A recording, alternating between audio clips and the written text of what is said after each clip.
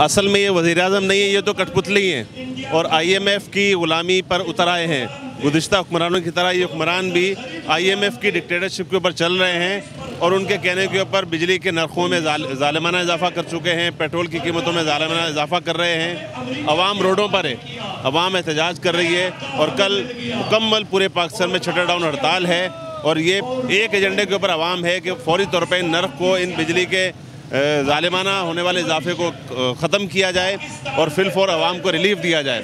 अगर ये चीज़ इसी तरह बरकरार रही तो आवाम यकीन खुदकशियों पर भी मजबूर होंगे। लेकिन आप देखें कि जमात इस्लामी ने बड़ा फरासत का सबूत दिया है कि आवाम को मनज़म किया है और जमहूरी तरीके से आवाम को अपना एहतजाज रिकॉर्ड करने पर आमादा किया है, ताकि किसी बदमनी की तरफ़ जाने के बजाय अवाम अवाम जो है वो ख़ुदकशी की तरफ़ जाने के बजाय अपना हक बुलंद करे और अपने हकूक़ मांगना और अपने हकूक़ हासिल करना सीखे।